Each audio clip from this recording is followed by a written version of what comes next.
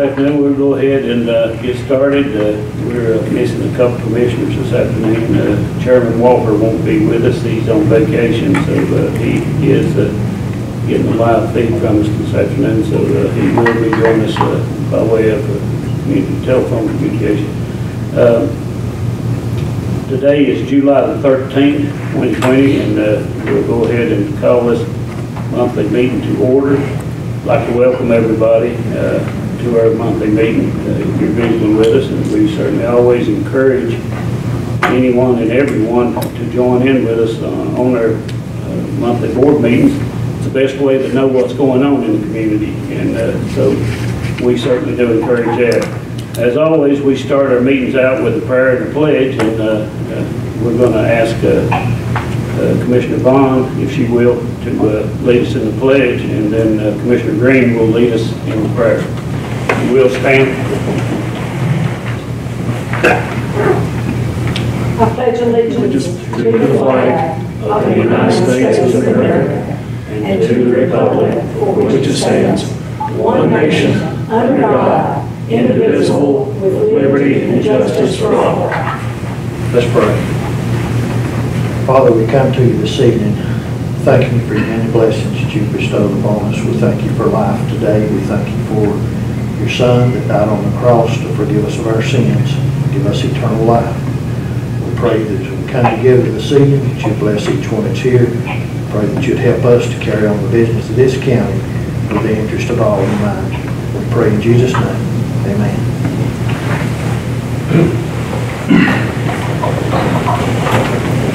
Okay, we'll ask the board, if they will, to approve the minutes. Is there a motion? So moved. I make a motion we approve the minutes as written. Second. Got a motion and a second. All in favor? Aye. Aye. Any opposed? Um, We need to approve the agenda for tonight, so uh, do I hear a motion and a second on the approval of the agenda? So moved. Second. Got a motion and a second. All in favor? Aye. So be it. Going on down to our appointments tonight, uh, uh, under item A, the first one will be the COVID-19 update, and uh, I understand Karen Powell couldn't be with us tonight, but we've got the distinguished William Kehler here with us, so uh, we'll let uh, William, if you will, William, come up and uh, and give us an update. Hey, Good afternoon to you. Hope you're doing well. Uh, Today marks day 120 of our EOC uh, activation for COVID-19. We start this week with several uh, items of importance. We have 5,640, 5,064 tested, 4,545 negative, 236 tests are pending, and we have 283 positives. We do expect an additional up- update later uh, this afternoon or early evening as staff uh, at the Health Department and at the EOC continues to work on new numbers that have come in uh, this afternoon.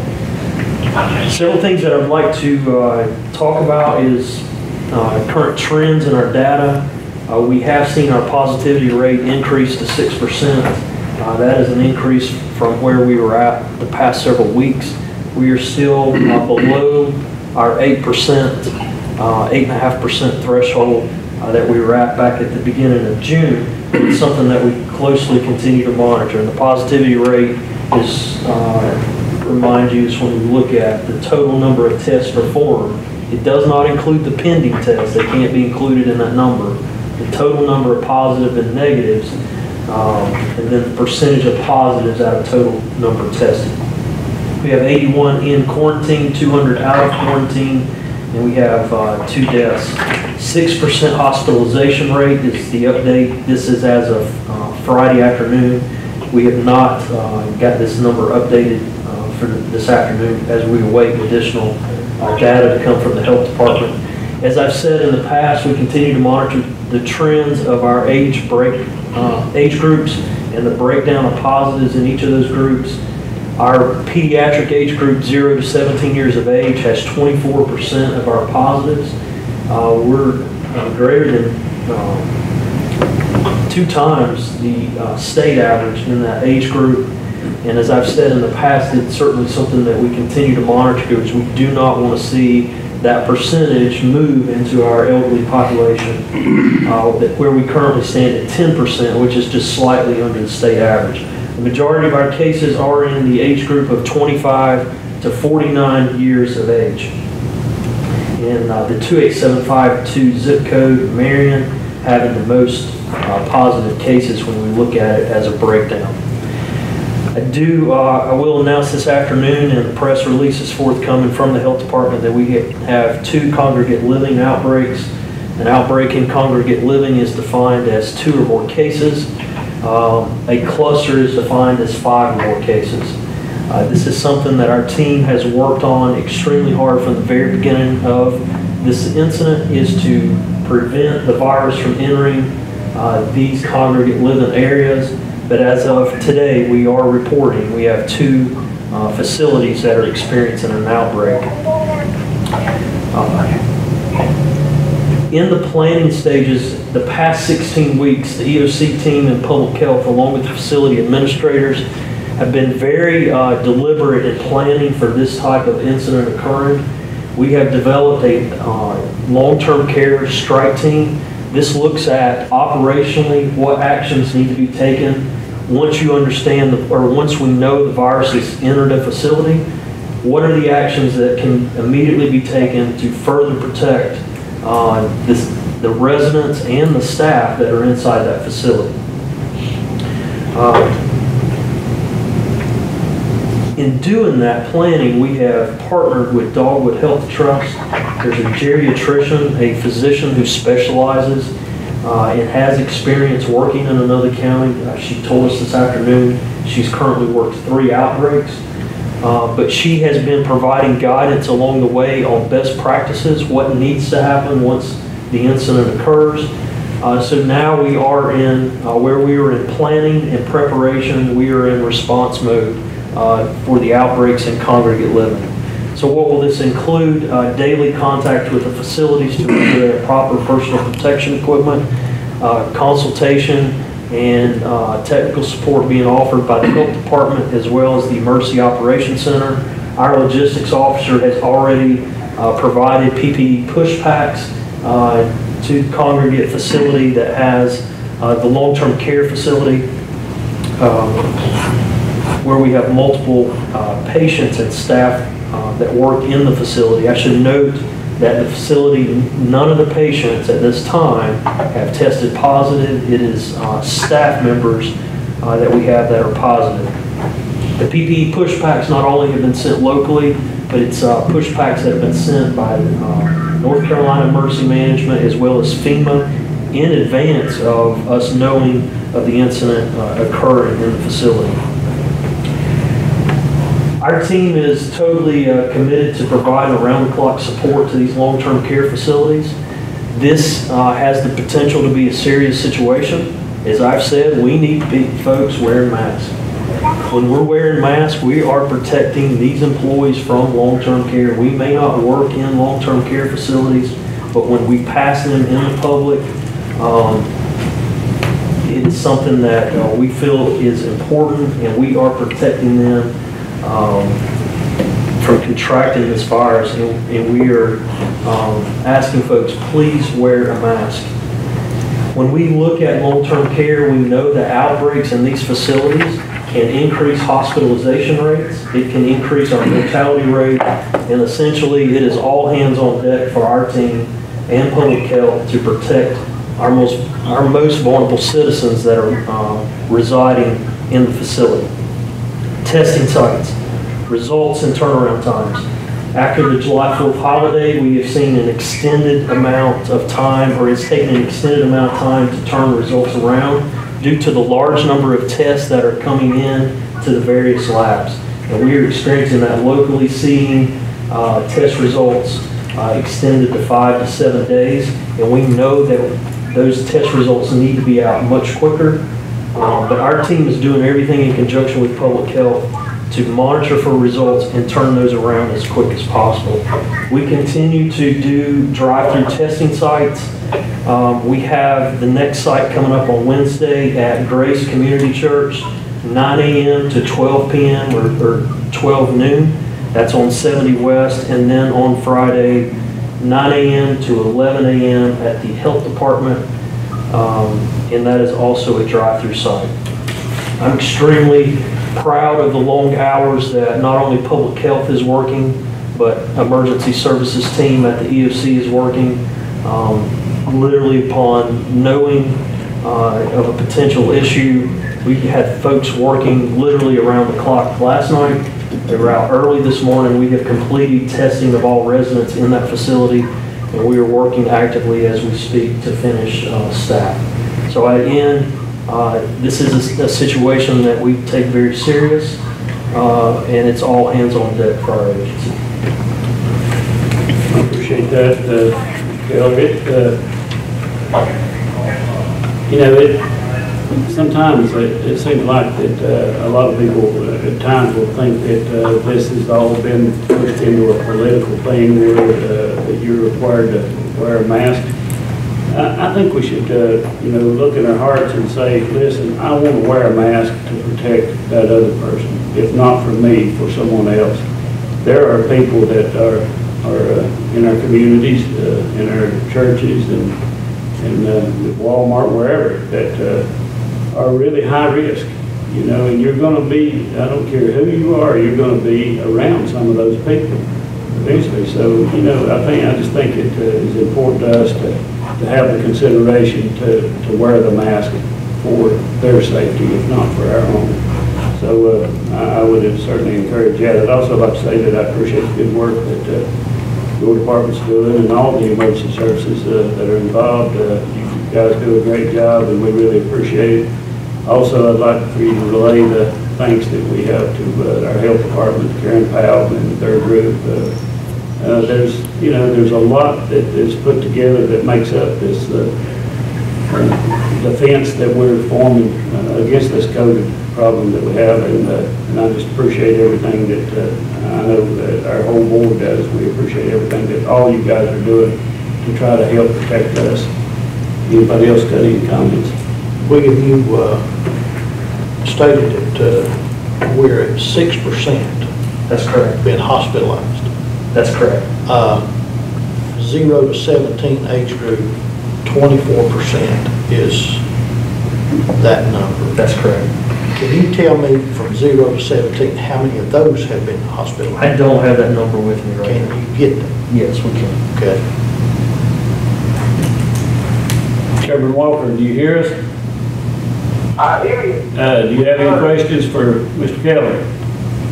One statement, I was in Walmart over here in Tuesday Ford, find a parking spot, and probably ninety-nine percent of the people, uh, shoppers and uh, employees like that on mask.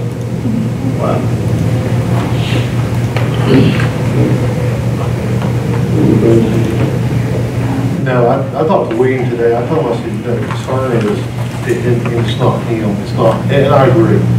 You have to wear a mask, and, and I don't, and I know I came out of healthcare setting, and I know it kind of looks bad.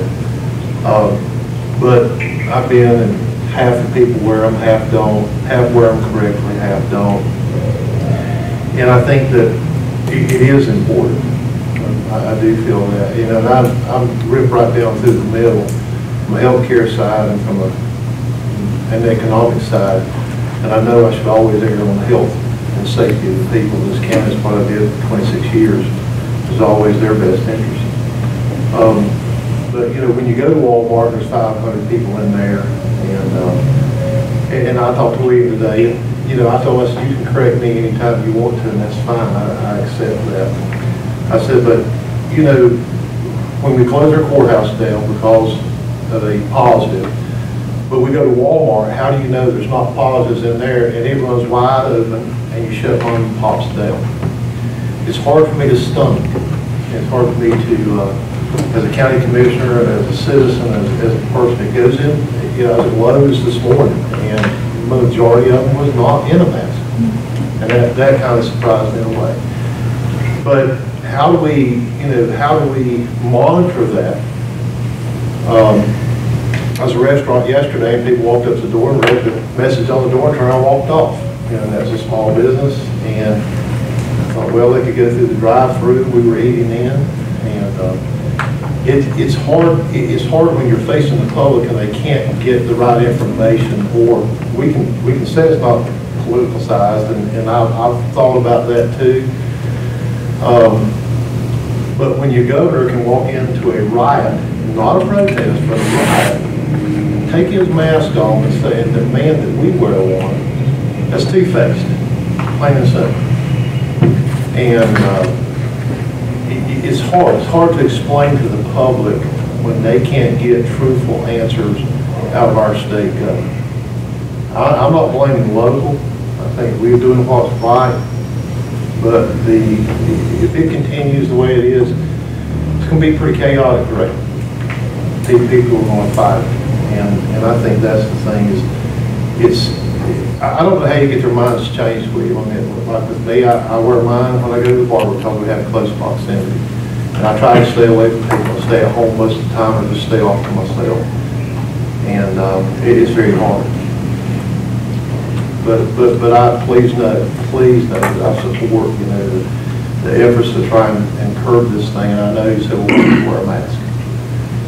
And I guess individuals think that we're gonna have to search our hearts, like Tony said, and, and think about it, but, you know, I'm ready to get back to Commissioner's boardroom. I know it's nice down here, but sooner or later, we gotta get back to functioning. Because they're uptight with school, my kids are uptight, uh, everybody I talk to, they don't like the the process of what's going on. Um, and it's not a good educational experience, and I know you say, well, we get them all together outrage. Danged if you do and danged if you don't. So, that's all my five cents worth. I, I went to Walmart, I think it was Monday, no, this is Monday, so I guess it was Friday, and I was pleasantly pleased that a bunch more people had on their masks than normal, than than usual. But I think some of the confusion when I was talking, and I wear my mask out here, I do, uh, but some people were talking, well, I read that, and, and the governor says if, you know, if, if you don't feel like you can breathe, or if you don't this, and you don't have to, and I think that was confusing. There was some confusion in the way that was presented as far as wear it, but now you don't have to, you know, and so when, I guess when mother used to give me, uh, an inch, I'd always take a mile, so I think as citizens, we take a mile if we're given an inch for anything. But I appreciate everything y'all are doing because you're at the front line. You are out there testing. I appreciate every hour and every minute y'all are working with this. I appreciate communications and We everything all the way down because it runs the gamut. It's not just one little group, it's the whole pocket full. So we appreciate you. There's so much conflicting information. That's it. There is so many different opinions. I wear this mask, as a community leader, I wear this mask to protect the elderly in this community. I wear it to protect the sick child recovering at home from a devastating disease or whatever it may be, of all the people that I pass. And as I've said plenty of times of the disasters that I come back with, when politics and disasters collide, bad things can happen. And as a local community leader in the healthcare community, I hope people can look at this individually and think about the other people, our most vulnerable in this community. We have over 700 elderly people in our adult care homes and long-term care facilities that we have got to protect. This isn't about me, my personal opinions, this is about us and our team trying to protect our most vulnerable citizens here in this community. Those are my sentiments, exactly, William, and I appreciate that. You know, again, I want to reiterate uh, my feelings on this, you know, uh, no matter what we think, let's, let's just try to be respectful for other people. Right. Not, you know, let's take ourselves out of the equation, and let's just be respectful for other people. Uh, One other thing that uh, I did see on the news, that uh, uh, you might share something on that, uh, but uh, according to what the news said, that North Carolina right now is in the top six in the nation for the increase in the COVID virus. I can't uh, comment specifically because I haven't looked at that today. I, I do know that the trend in North Carolina is concerning on the positivity rate. And as I've said a number of times, it's so important not to look at the daily number of positives that it increases. It's all about the percentage and the trends. Yes, more testing will drive more positive cases, but when you see the positivity rate increase, uh, that's, that's the trend that we're concerned about. And we've seen an uptake, or uptick in McDowell, uh, as well as across North Carolina. Okay, thank you, Mr. Kehler, for that. Uh, We're, uh, we're going to hear, uh, item B was the 911 center update, and uh, I think you and uh, Ms. uh, Amberlie Buff, we're going to do that one, so if you guys will, just come on up and we'll proceed into that. Yeah, so, uh, thanks again. Uh, I'm gonna recognize Amberlie and let her explain the project. Yes, excuse me, David, you come? David? Uh, Go ahead, excuse me. For over two years now, uh, the 911 center and the staff led by Amberlie Buff, our 911 manager, has been working on the next generation project. I've provided several updates uh, over the course of time on uh, this project. It- It's exciting, it's new technology for the center. But uh, before she gives an overview of the work that's been done and the project completion uh, update, want to take a minute and recognize the work that she does, not only with this project, uh, but she truly leads our 911 center. I'm extremely grateful to have a solid leadership team, and uh, Amberlie sits at the core of that, and uh, just absolutely works her heart out day in and day out. So I appreciate what she does, and gonna let her give an update of uh, the exciting work in in the 911 center. Thank you, William.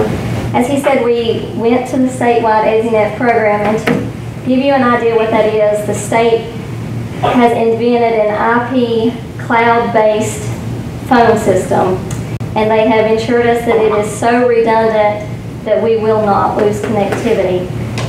We opted to go hosted, which means that they monitor our equipment 24 hours, seven days a week.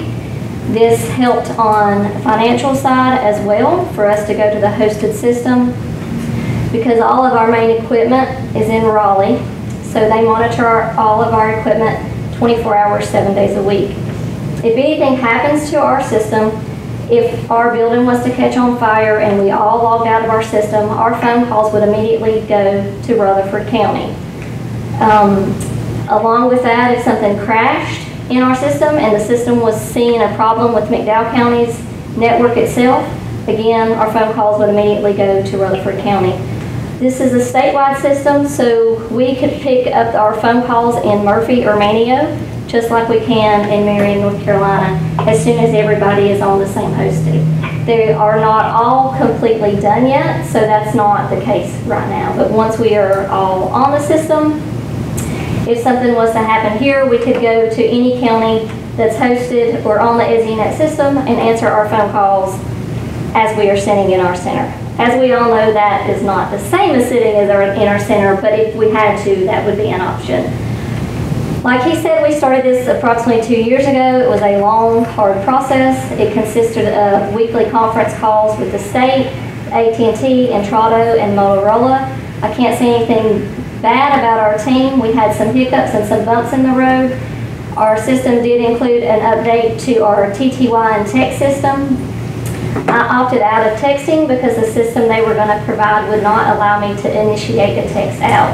We right now in McDowell County text a lot of phone calls out every day to 911 hangups. When the state came in and said, this is your option for your text, they did not give me the option to text out, so I told them we would not go on their system because I was not going to take something away from our citizens that we already provided to them. We do get some 911 texts into the center, but our percentage of outgoing texts is extremely higher than our inbound texting.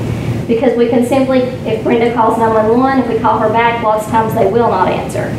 But if we text Brenda, because a lot of high school students do call 911 on accident, we can text them. They will text us back and tell us that they do not have a problem. They'll tell us where we're at and we'll update the deputy of what's going on. This system also um, was an update to our equipment. So not only did we go onto the ESInet last Wednesday, we were able to update all our phone equipment. We stayed on the same program, which was great for our employees because it wasn't a whole lot of change for them, but we did have some upgrades in our system. Along with the ESInet, our location accuracy is better. Our GIS had a lot of work to do with this. They had to be at 99% in order for us to go to an I3 ESInet model. Most of the counties only went to ESInet. Uh, Step one, step two was an I3. We were the first county to go Vesta, ESInet, and I3 all at the same time in the western region. Also, if you're calling from the courthouse and you're on the second floor, we can now see that you're calling from the second floor, when before we should only be able to see the area of where you're calling. Now, once our ESInet project is complete and the GIS project is complete, we should be able to see hopefully what room you are in, in that building. So everything we do is a step in progress of getting better locations of where that 911 hang-up call comes from in case that 911 hang-up call is an actual emergency. And I can't say enough about going live on Wednesday. There was very little problems. Our team worked very well. We had the backup center staff and our primary center, and everybody had good attitudes. There was a lot of test calls. There was a lot of old system, new system, phone calls, redundancy. Our old system would ring and the new system would ring behind it. So our staff put up with a lot that day, but we were very happy when the project was over, and they said it was one of the quickest projects they did, and we're very pleased with our staff. That's all I have. Thank you very much. Uh, My wife, absolutely, uh, she, she will always love the 911 center we have here in the county.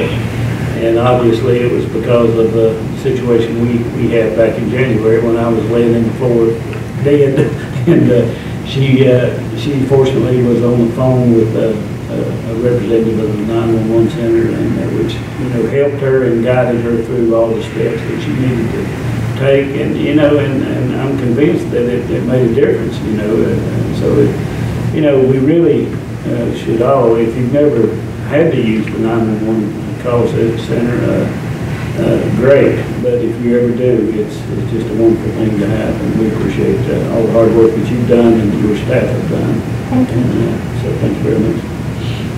Anybody else got a comment? Kevin Walker, do you have anything to say? I was just gonna tell me what you stated up there, uh, we've been a very professional, dedicated, well-trained group of individuals, and, uh, just thank you, uh, every day, for what you do to, to protect and, and help, uh, the people of Dale County out. Thank you. You said our phone calls would roll to roll, if theirs goes down, theirs rolls, but, They actually go to Catawba County, oh, okay. I believe, So or it's Caldwell all- County. I think they go to Caldwell County. Okay. Each county chooses where they roll Roll to. to, okay. Mitchell counties will roll to us. Oh, okay. William, do you have a summary, summary? I, I just want to thank her again and let the board know that not only has she implemented the project, made, made it successful, but her and her team done this during COVID, which we've had an EOC activation for 120 days now, but we've also got all of our normal divisions that are running, um, how many calls a year you process? 120,000. 120,000 calls a year. EMS is running 10,000 calls. Community paramedics are 2,000 calls a year. So her uh, and her staff to get this accomplished in the midst of everything we have going on uh, is is extremely uh, impressive, but also I'm extremely grateful for what they do. So Thank you for coming. Okay. Move along. Item three, under A is our uh, old business, uh, EMS capital project update, and uh, we'll turn to Town Manager, Mr. Uh, to give us an update on that. Yes, sir. Uh, Thank you. Um, Quick update on this project. Uh, When we were putting the agenda together, we didn't know if it would be a good update or a bad update. So it's a good update, of course, you all know that on the board side. Uh, Last Tuesday, we um, participated in a uh, phone call with the local government commission uh, for their board meeting where we submitted the uh, application approval uh, to them for um, our EMS projects. This was the last uh, official uh, phase before we could sign construction contracts with the contractors. Uh, They, uh, being the commission, which is comprised of the uh, treasurer, state auditor, uh, secretary of revenue, and a few other folks, go over every project.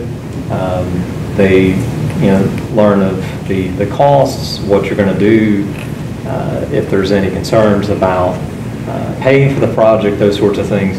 That's all discussed there. Uh, It was approved. There were no uh, comments or concerns by the commission about uh, the project. They had seen um, the, what the commissioners have committed to do as far as county finances, and very pleased with uh, our financial position uh, and where we're headed with that. So uh, today, this morning, Vice Chairman Brown signed several documents for the, the loan. Uh, I signed the construction contracts, and uh, we're about two weeks from being underway on Station 4, which is the north station. Don't have a date on the larger one.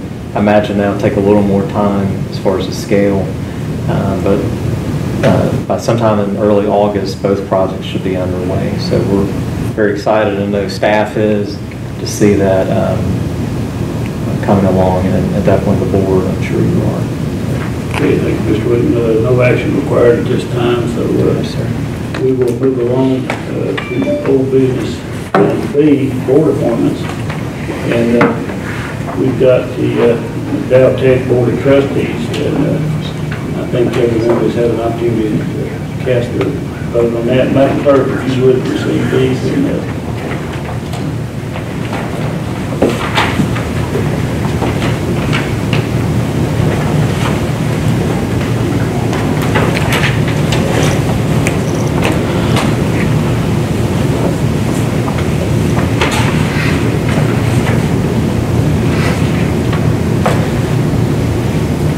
We had um, three nominations, Pam Forshee, Mark Garrett, and Martha Zimmerman.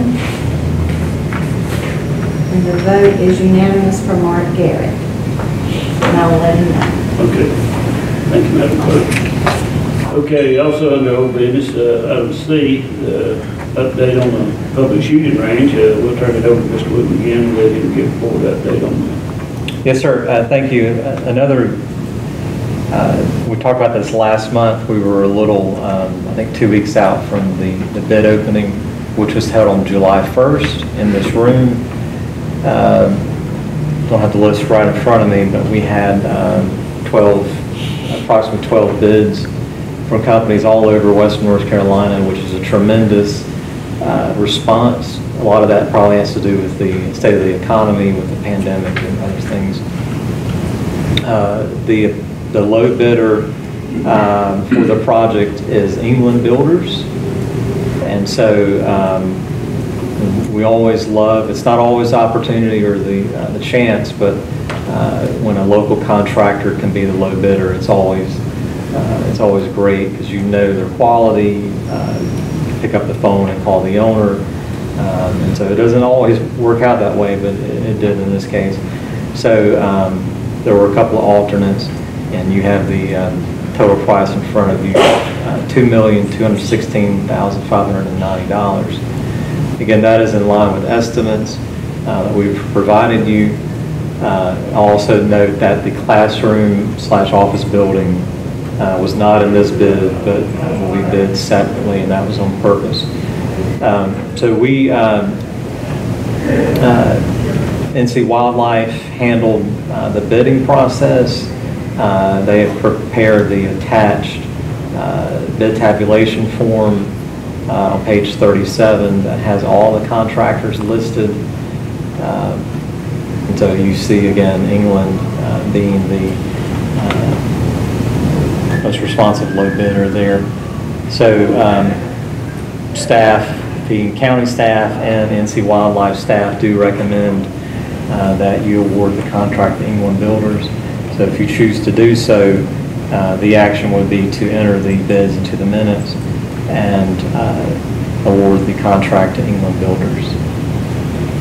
Okay, thank you, sir. This, was a vision that uh, I personally had uh, some, over five years ago, uh, when I come on the board, and, you know, as soon as I mentioned it to the board members, uh, you know, every, all board members were all over it and in favor of it, and, uh, and I say, I'd like to say that our board, in- in- including every member, has worked very hard over the past five years to try to make this happen, and uh, so now we're seeing it happen, and uh, I just want to say that uh, I thank all the board members for all the hard work that they have put into it, and uh, the staff, uh, Mr. Wooten and Ron Harmon, and uh, all that have been involved in this, and so we're finally seeing it come to be a a real thing, and uh, I'm just really excited about it, and uh, uh, so, uh, anybody else have any comments on the shooting range?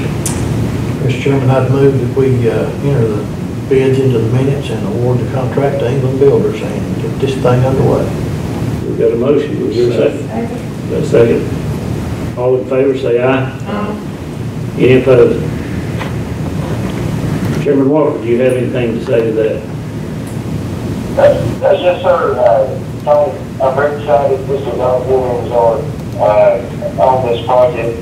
Finally, uh, getting ready to have a groundbreaking, and we look forward to, uh, recreational shooting occurring in Down County on a supervised range.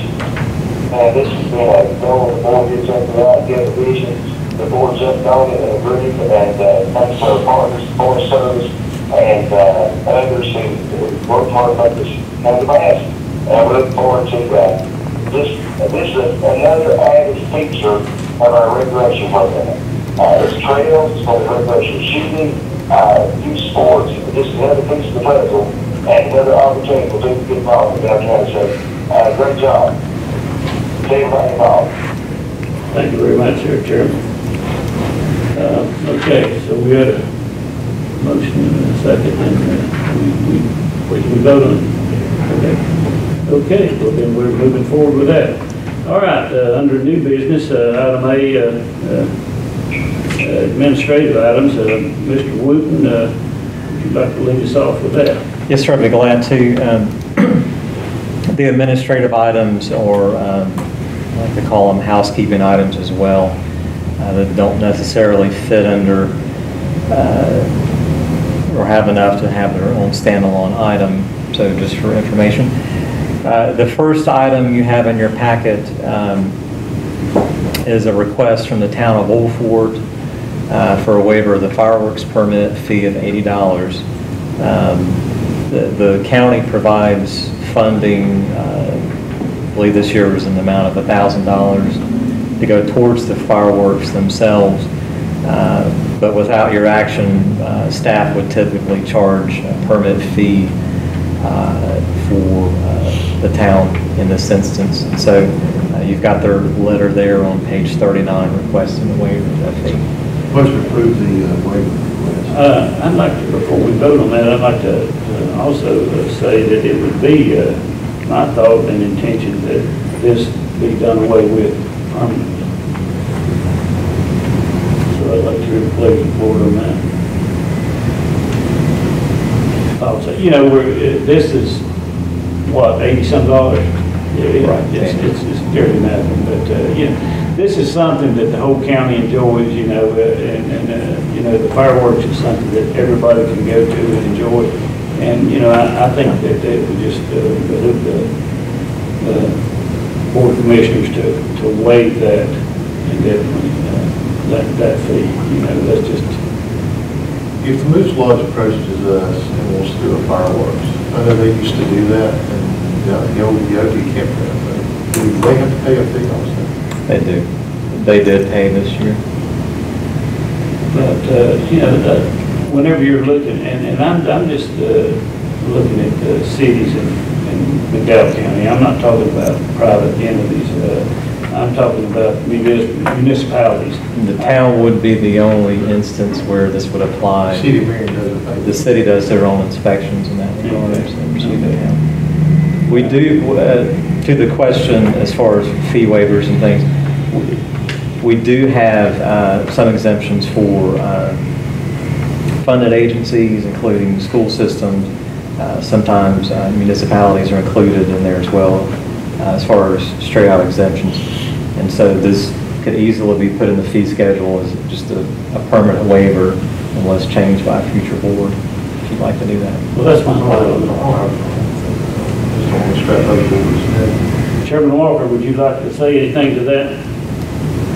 Uh, I'll just, uh, say that, that I actually went to the Old Fort fireworks this year, very good job, uh, the board went ahead and since Marion did not do theirs, we sent that money, the board wanted to do that, to make the Old Fort fireworks even better this year. And, uh, so from one government to the other, I've got their front waiving eighty dollars. What's the pleasure, board? Make a motion we waive permit fee of eighty dollars for the town. Second. Have a motion and second, all in favor? Aye. Any opposed? Uh, Just a few more admin items. Um, The next item I'll actually um, go over really quickly. Uh, We have a few positions that uh, we're just trying to keep our uh, position listing cleaned up. Um, So that starts on page 40. Uh, Mr. Suttles has asked that we uh, just take out, being J cells and inspections, couple of positions that are, uh, titles that antiquated, so taking out building inspector apprentice, uh, fire inspector two, um, and uh, reclassifying those under a different title, so if it's okay with the board, would like to do that. What's the position of the board on that? Move we approve. Have a motion and a second, all in favor? Aye. Any opposed? Thank you. Uh, Just a couple more, and uh, the next item, talked about intergovernmental relations a moment ago. Excuse me. Speaking of water, I might need some. Uh, At your June 30 meeting, uh, I believe, um, the, the board voted to increase water rates for the Nebo water system 3%. Uh, That was based on uh, communication uh, with the city from uh, a time before some information changed uh, there at the city. And so they actually um, increased their water rates 5% and not 3 And so we would like to do the same in order to keep uh, everything equal for, um, uh, since we pass on any uh, increases to our customers typically. Otherwise, we would be creating a deficit. Mr. Chairman, I move that we uh, approve that increase. Second. motion second, all in favor? Aye. Any Thank you. Opposed? Okay, next. Thank you. And the last item is the EMS write-offs that I would ask you to approve. Pleasure of the board on the EMS write-offs. Motion approved, items. Got a motion, here a second. Second, all in favor? Aye. Okay. Moving on to item B, tax matters. Mr. Wood, do you have? Uh, Yes, sir. Uh, Just a a few releases. Uh, There are uh, some common area that was identified, and again, that is uh, not to be taxed. Um, There are also some discoveries uh, in our business listing and a few automobile uh, listings there on page 51, 52. That's all. Okay, what's the pleasure of the board? Move we approve the tax matters. Got a motion, second. All in favor? Aye. Okay. The uh, PDC housing grant, uh, Mr. Wood, would you give us an update on that? Uh, Yes, sir. Um, uh, IPDC stands for Isothermal Planning and Development Commission. Uh, Commissioner Vaughn, uh, as well as myself, sit on that uh, board. Uh, IPDC uh, is a four-county region, uh, regional government that we're a member of, and they provide different services for this county, as well as the other three. One of the areas they've traditionally worked in is housing, and so for many, many years, uh, they have assisted with housing rehabilitation grants. Sometimes the county has been the recipient of the grant, um, and Isothermal has administered those. Some of the folks have been around a while might remember Paula Kenton, different staff. Uh, In this instance, IPDC was the applicant for the grant, and so um, they have applied for and received this grant uh, and are asking for an administrative fee to help with the actual implementation, because most of the, if not all the grant uh, funds are going towards actual rehabilitation costs. So the grant will uh, rehabilitate uh, up to five homes. And these homes are typically uh, in fair condition, uh, they're not poor condition, uh, they might need a new roof, they might need a new heating system, uh, maybe some flooring repairs, maybe some siding if they can get it in. But they typically, uh, this agency, NC Housing Finance, looks for homes that are right on the edge of going down or they can't be repaired at all. Uh, We've repaired some in the past that probably needed to be replaced, and this isn't what this group does. So it's a great way to use outside resources to uh, repair some of the housing stock of low to moderate income folks. So you've got a breakdown request of, uh, over the next three years in this contract of $20,000 that will be paid for the administrative costs, uh, 7,500 for the next two fiscal years, including the current one, and then 5,000 in the last year. So that would space it out over the term of the project. We've heard that, anybody have any comments? Not, what's the pleasure of the board? Make a motion to approve. Second. Motion and a second, all in favor? Aye. Any opposed? Okay, item D, uh, property sale update, Mr. Wood. Uh, Yes, sir, a very brief update on this item. I mentioned, um, again, I believe on the 30th, uh, the staff had uh, received a- an offer for uh, about 65 acres of county-owned property on Forest Lake Heights uh, that the board had declared surplus several years ago. Uh, At the 30th meeting, you approved a resolution authorizing the uh, sale of that property. And just again, a brief update, we're still in the process of closing and have not closed yet. So uh, anticipate uh, that happening hopefully by the end of the week. And uh, we'll give an update next Monday. So that's all I have on that item. And you do request action on that? Not tonight. Not tonight, okay. Okay, item E, uh, the voting delegate for uh, NACo and NCACC, uh, um,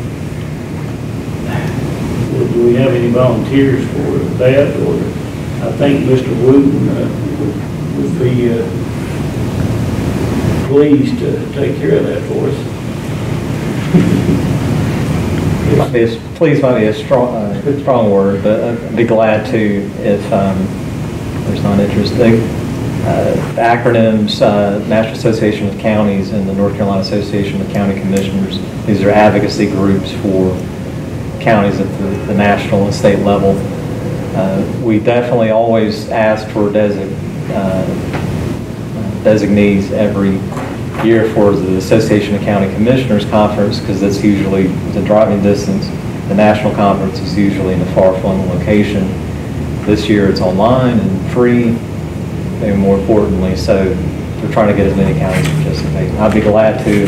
Yeah, else. I think you went last year, didn't you? Yeah, but uh, Ashley said, uh, you know, since it's online, uh, he would be willing to take care of that for us if it please. Board, what's the pleasure? Mr. Chairman, I would move that we uh, designate Ashley Wooten, our county manager, as the uh, voting delegate this year.